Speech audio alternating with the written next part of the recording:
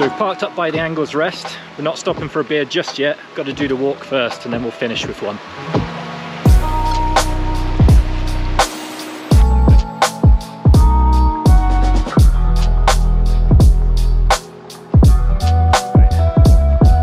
So the first bit of our walk's along the Monsal Trail. There's lots of these old buildings along the side from when it used to be a railway line.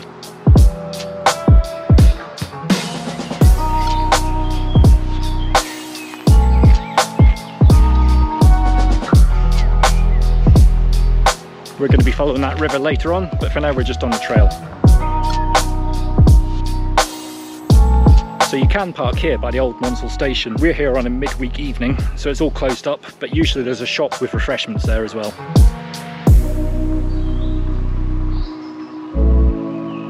Coming to the bit of the trail where there used to be a lot of old heavy industry, the old lime kilns.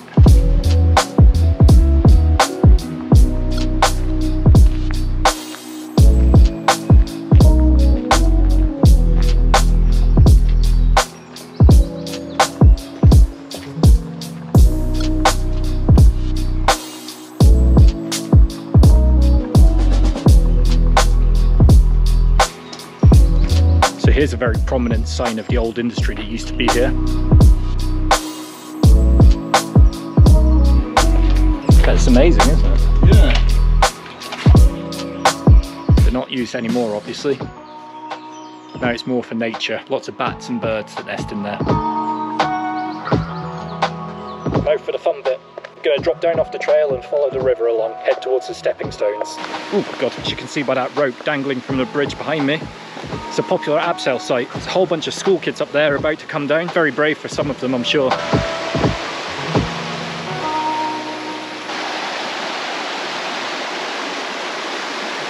certainly a lot cooler now we've dropped down to the dale as well. Last time I came here a couple of months ago, it had been really dry, so nothing had really grown yet. Now all the greenery's just exploded.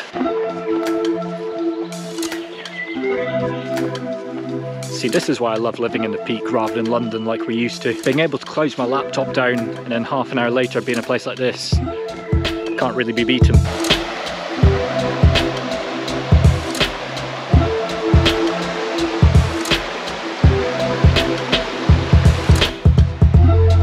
So we're in the beautiful Millers Dale just opened up a little bit for the section of river we're in. This whole area and all these dales that are connected are all part of an area of scientific interest. So a great place to come to see a bit of wildlife and nature.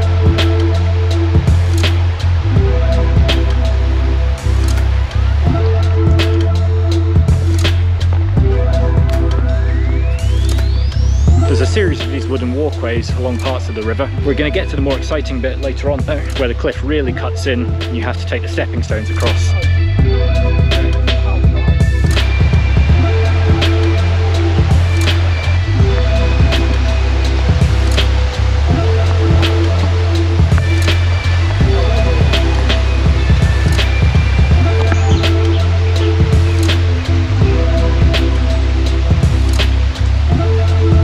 Bits you need to watch out for, just like those steps back there. They can be very slippy where so many people have walked over them and polished the limestone. It's actually dry today and it's still slippy.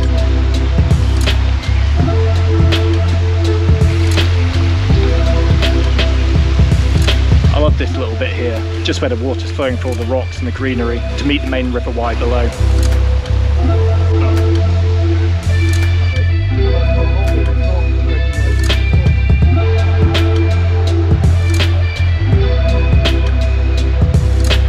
Coming into the Chee Dale section of the dale. As you can see, all the walls are rising up around us. This section is particularly popular for climbing. I've never actually climbed here myself, but it always looks really good when I've come for a walk.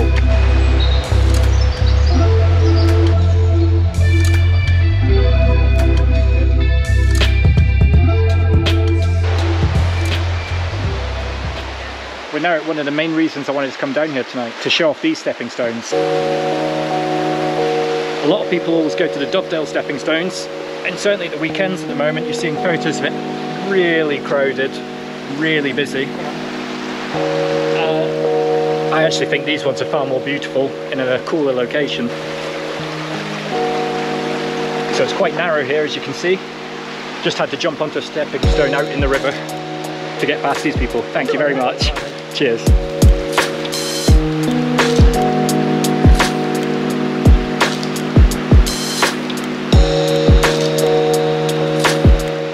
Bonus of these stepping stones as well compared to the Dovedale ones, there's two sets of them. We'll see the second set in a minute.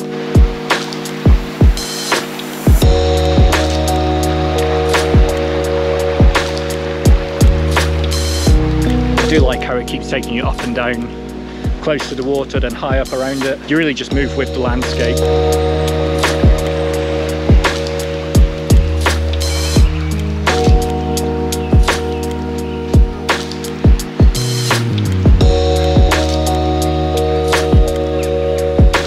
Part of the dale you can really see where the water's cut away at the rock. On that other side it's all really undercut which makes for very good but very steep climbing and quite spectacular scenery. The paths are always very narrow. Oh, and we're at the next stepping stones. As you can see here, the reason that the stones are there is to help you get past these parts of the river. The rock cuts over the river so much there's just no path. Be careful if you're going to come here after a lot of rain, because sometimes the stepping stones can actually be underwater. I'll try and find the Facebook page that tells you if they are underwater or not, and link it down below.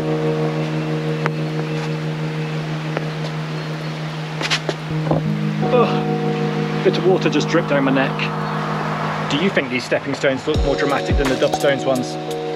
If so, let me know down below in the comments.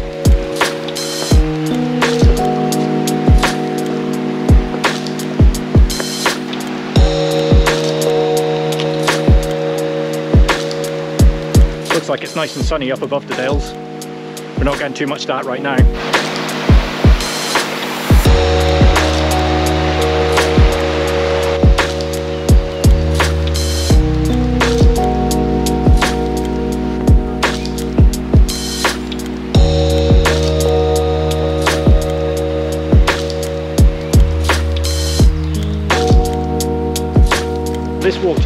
Recommended to me by someone on the UKC forums. I'm really sorry, I can't remember who it is off the top of my head. So thank you for recommending it. It's been a really good walk so far.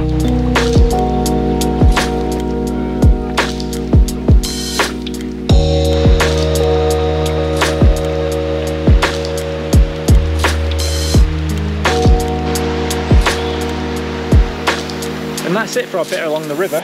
We're now going to climb back up the steps onto the trail and back along to Millers Dale, that's it. Gonna climb back up the steps, back onto the trail, back to Millers Dale for a pint.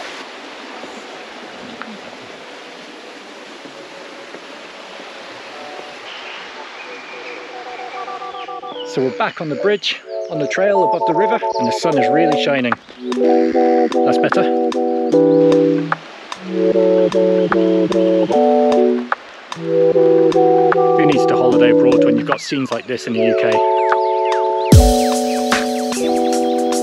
So now that we're heading back along the trail, back to Millers Dale, we'll get to see some different kind of scenery. This time it's going to be tunnels. This first one, the Rusher cutting tunnel, is only a little short one, but you'll see when we get to the next one, some of them are quite long.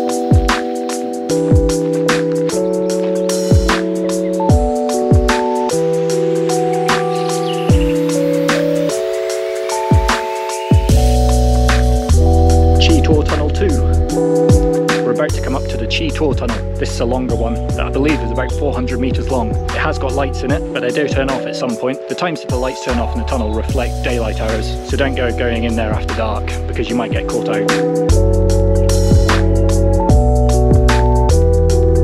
Into the void.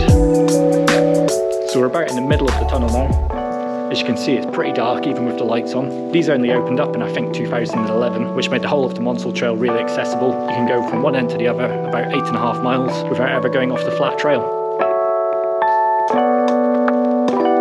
Out of the cold, wet tunnel, back into the sunshine and warmth.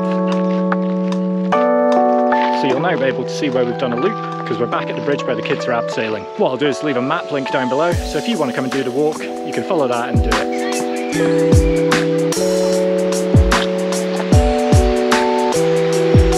Now that we're back on the trail, it used to be an old railway line. There's all the industrial buildings again. Something to go and explore if you like that sort of thing.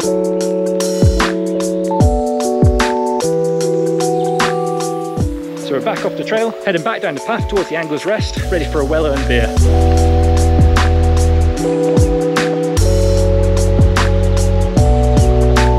Pint now. But if you've enjoyed this video, please hit that like button. And if you want to see more of this kind of content, please subscribe to the channel. It's the best way to help the channel grow and share these walks to a wider audience. I'll leave some links about locations from today's walk in the description down below. But if you've got any questions, please don't hesitate to comment. I'll make sure I'll answer it best I can. Thanks for watching.